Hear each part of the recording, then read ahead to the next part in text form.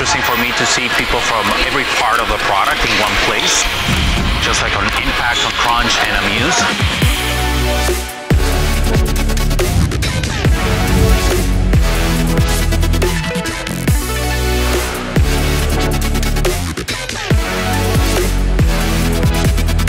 I think the best advice to anyone who's new to products is to find your network, find people who have been doing it for longer than you are, look for inspiration, read. I think that Amuse um, conference per se is this really nice place where people can mingle, where they can get together, where they can communicate, can network and improve their skills and get to know each other. And that's a very, very important thing to have in general.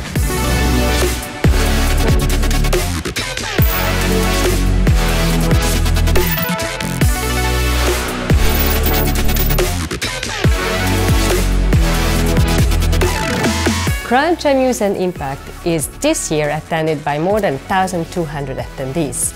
This many people purchased tickets, and I'm so proud that actually the live event had similar numbers.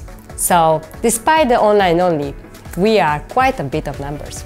I was lucky enough to hear many great speeches from really big companies like uh, Zendesk or Microsoft or Facebook and uh, I also saw presentations which I can actually use for example, the visual representation of data. If you're just starting out with uh, your career as UX, UI, please first of all, do not be afraid of what's going on. But the most foundational thing that I always recommend people to learn is how do you understand people?